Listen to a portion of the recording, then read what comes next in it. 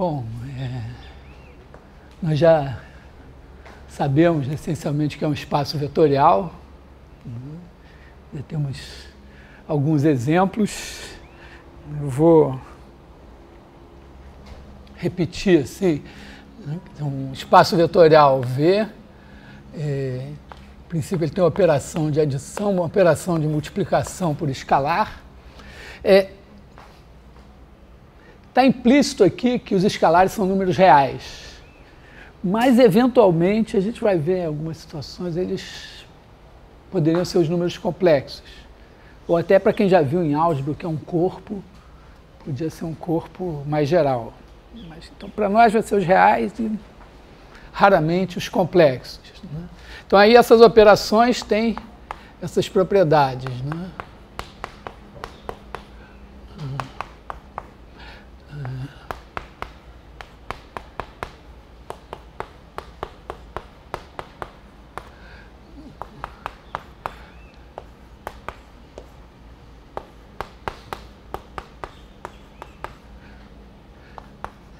Aqui, como já mostrei algumas vezes, né, é, supondo essas propriedades aqui, a gente prova que esse zero é único. Né. Sendo único, faz sentido dizer que para todo U existe menos U, tal que menos U mais U igual a zero. Essas são as propriedades só da soma. Aí você tem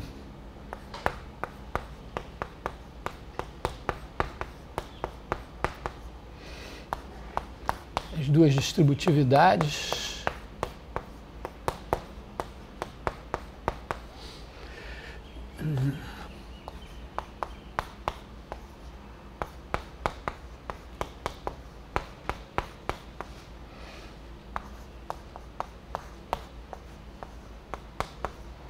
Claro, aqui para todos U e V, para todos U, V e W, para todos U, V vetores e T escalar para todos ST escalares o vetor, para todos ST escalares o vetor e para todo o vetor. Então, qualquer a ideia assim que qualquer conjunto que tenha é, uma operação de adição com essas propriedades e que tem uma multiplicação por escalares reais com essas propriedades aqui, a ideia é a gente começar a construir analogias com os vetores flechinha. E a gente pensar. Então, é, é, a gente vai procurar sempre demonstrar as coisas usando essas propriedades. E só, eventualmente, as propriedades particulares do espaço em que a gente está trabalhando vão importar. É, na, na aula passada a gente estava discutindo a questão de, de base do, do espaço. Né? Porque, bom, o, o exemplo, exemplo para nós é R2, né? a gente pode, é, de certa forma, abandonar as flechinhas no plano e pensar o R2 como sendo o nosso espaço, abandonar as flechinhas no espaço. Abandonar não, quer dizer, a gente continua pensando com elas, mas pensar no R3 e como generalização pensar no RN. É,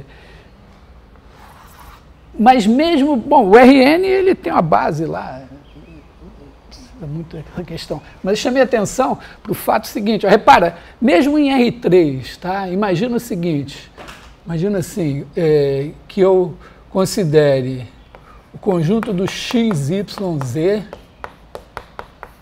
pertencentes a R3, tais que x mais 2y mais 3e igual a zero. Chama isso aqui de V. E pensa nesse. Observa o seguinte: que se eu tiver dois caras que satisfazem essa equação, né, x1, y1, z1, x2, y2, z2, a soma deles satisfaz essa equação. Porque você bota, né, você faz x1 mais 2y1 mais 3z1 igual a zero, x2 mais 2y2 mais 3e2 igual a zero. É, multiplica essa equação por t aqui, soma com essa daqui, você vai ter x1 mais t, x2 mais 2, y1 mais t, y2 mais 3, z1 mais t, z2 igual a zero. Então, fazendo t igual a 1, você tem que a soma satisfaz. Fazendo x1, y1, z1 iguais a zero, você tem que o produto por t satisfaz a equação. Então, nesse conjunto, essas operações fazem sentido, o conjunto é fechado para elas. É, é, claro que elas satisfazem essas, essas duas primeiras propriedades aqui.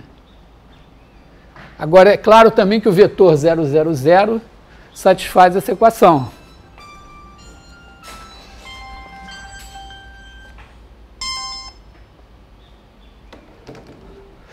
É, também, né, se, se o x, y, z satisfaz a equação, menos x menos y menos z satisfaz.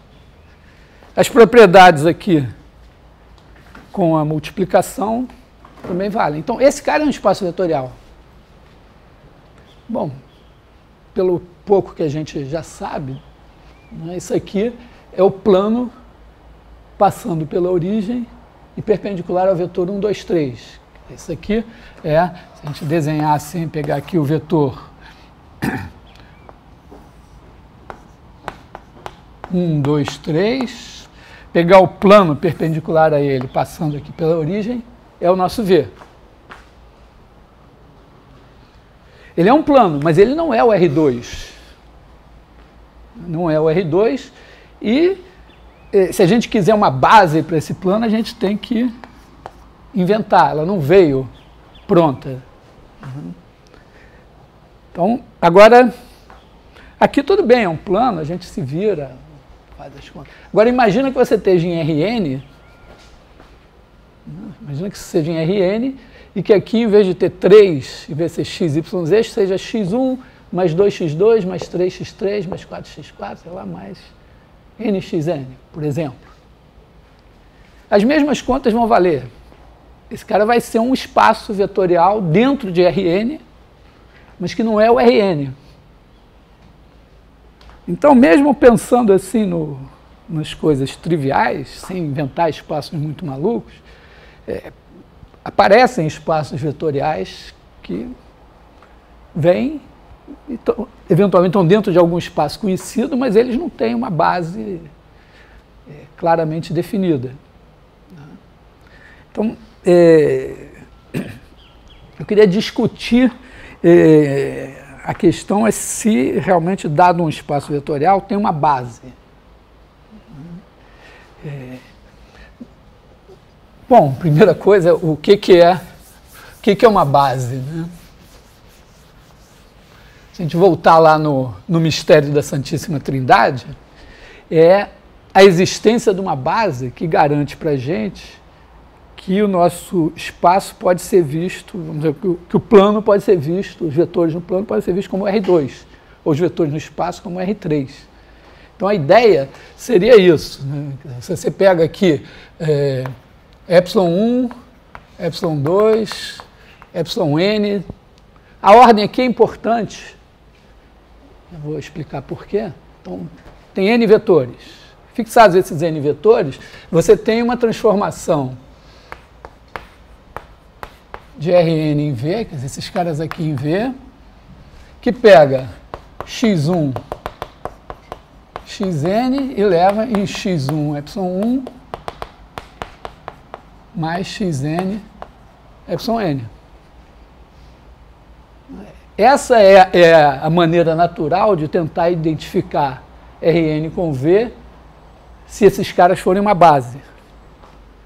Bom, é, primeiro a, ordem é, é, importante, por quê? Porque é, se, eu, se eu pegasse assim, epsilon 2, epsilon 1 e o resto igual, né, é, aqui eu teria x2,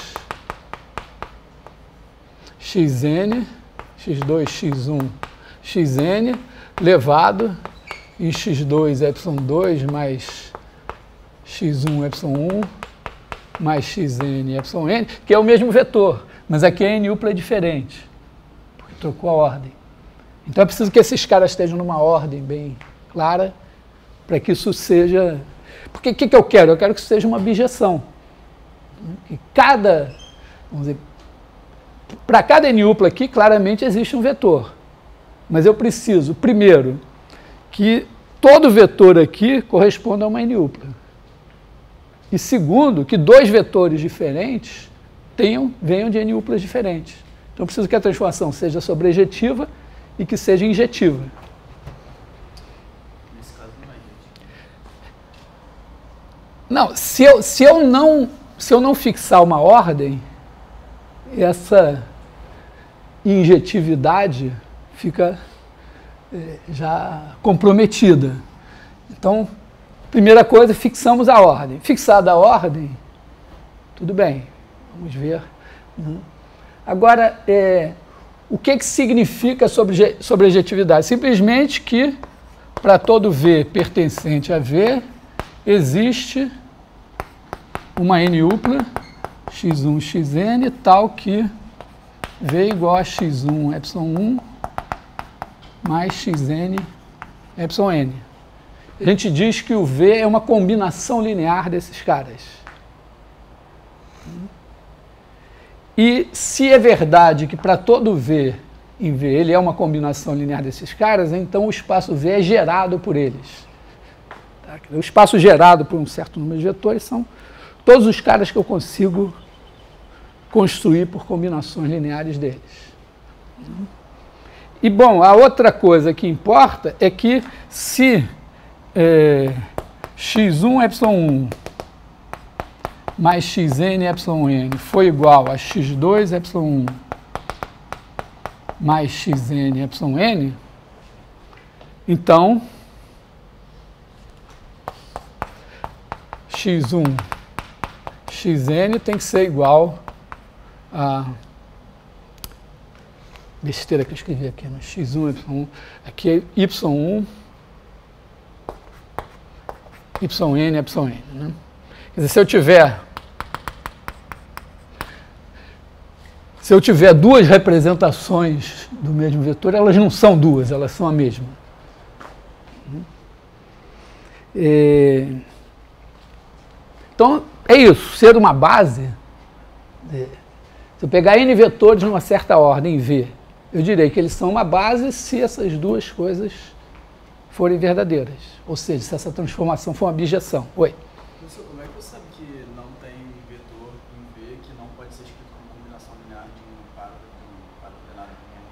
Bom, depende do caso. Não, não é que eu afirmei, eu estou querendo, eu estou querendo é, estabelecer quais são as condições para que N vetores formem uma base. Estou querendo definir o que é uma base. Então, uma base é um conjunto ordenado de vetores tal que isso aqui seja uma abjeção. Não estou afirmando que é uma abjeção. Estou afirmando o quê? Estou definindo, estou dizendo, a condição para que eu chame o cara de base é que isso aconteça. Se não acontecer, não é base. Não estou dizendo que acontece. Então, é isso. A, que a gente quer. Essa segunda condição aqui, ela pode ser expressa de outras maneiras. Geralmente eu falei assim, ah, os três vetores são linearmente independentes se nenhum deles é combinação linear dos outros. Né?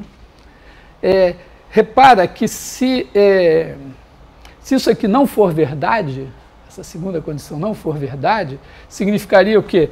Que é, vamos dizer, algum xi seria diferente do yi.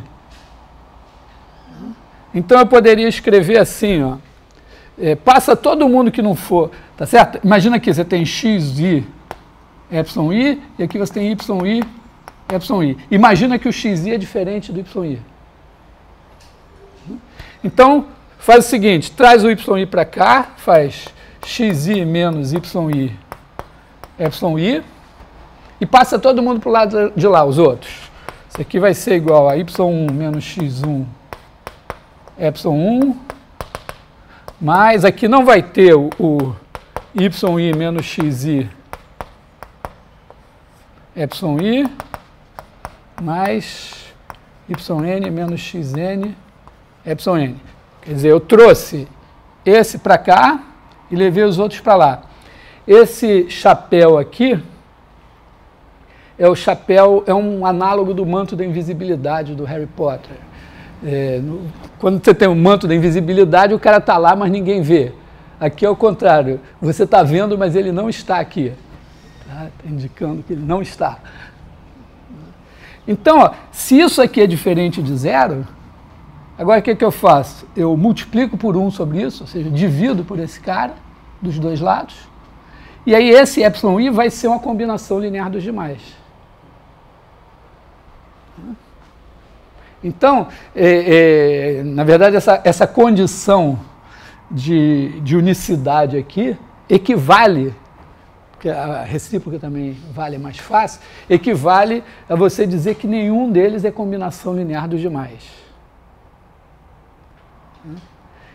É, também equivale, equivale ao seguinte, é, a, se você escrever T1 epsilon 1 mais Tn n igual a zero, então T1 igual a Tn igual a zero. Observa que isso daqui significa dizer que eu não posso representar o zero de duas maneiras diferentes. Essa, essa afirmação aqui de cima, pagar essa do meio. Essa afirmação aqui de cima é que é, nenhum cara pode ser representado de duas maneiras diferentes. Essa daqui de baixo está dizendo que o zero não pode ser representado de duas maneiras diferentes. Porque, é claro, zero é igual a 0 epsilon 1 mais 0 epsilon 2 mais 0 mais 0 epsilon n. Então está dizendo que não tem uma outra maneira. Então é claro que essa daqui implica nessa. Mas o que talvez eh, não seja claro à primeira vista, mas não é difícil ver, é que essa daqui também implica nessa. Porque olha só, se isso é igual a isso, você passa todo mundo para o lado de cá, aí fica x1 menos y1, y1, x2 menos y2 igual a zero.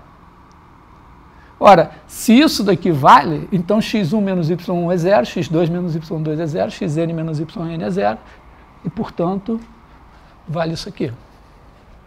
Então, essa, essa, esse teste aqui mais econômico né? Porque, repara, como é que eu vou testar se para todo, pensando assim em termos de programa de computador, né? como é que eu vou fazer um programa que testa todo mundo? Aqui você dá, tem um programa, basta testar o zero. Uhum. Ainda não é simples, mas tudo bem. É, então, é, rápido. Eu estou dizendo então que é, para um conjunto ordenado de n vetores ser uma base para o espaço, ou até, agora, nem precisa estar ordenado, quer dizer, um conjunto de vetores vai formar uma base do espaço, porque se eu pegar n vetores que formam uma base numa certa ordem, se você mudar a ordem, será uma outra base, mas será uma base ainda. Então, um conjunto de vetores vai formar uma base do espaço, primeiro, se ele gerar o espaço. Quer dizer, todo mundo é combinação linear dos vetores do conjunto. E segundo, se ele for linearmente independente. Ou seja, nenhum é combinação linear dos demais. O que é equivalente a isso aqui ou a isso aqui.